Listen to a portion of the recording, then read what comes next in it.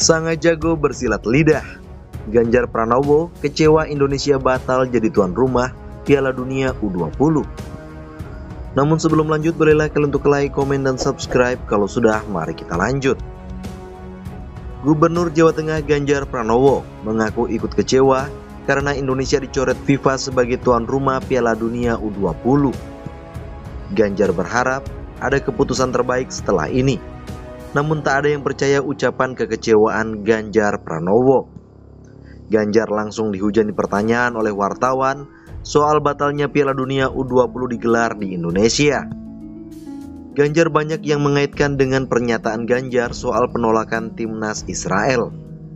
Ia pun menjawab menunggu keputusan resmi berupa surat dari FIFA. Wartawan pun juga bertanya soal apakah dirinya juga kecewa. Secara mengejutkan, Ganjar mengaku kecewa karena persiapan sudah dilakukan sejak lama. Ia juga menjelaskan, sebelum mengeluarkan pernyataan soal penolakan timnas Israel, sudah ada komunikasi dan ada peluang digelar secara khusus. Kita tunggu saja apa yang menjadi keputusan dari FIFA dan PSSI.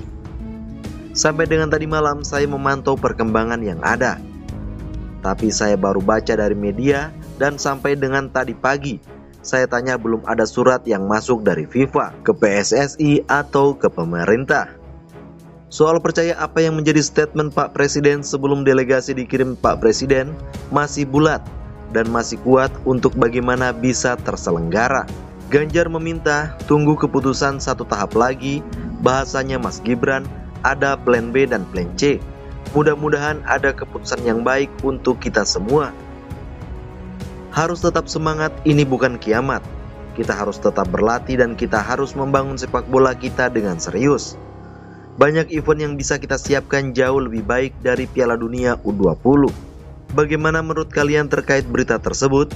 Jangan lupa like, subscribe, serta komentar berita ini.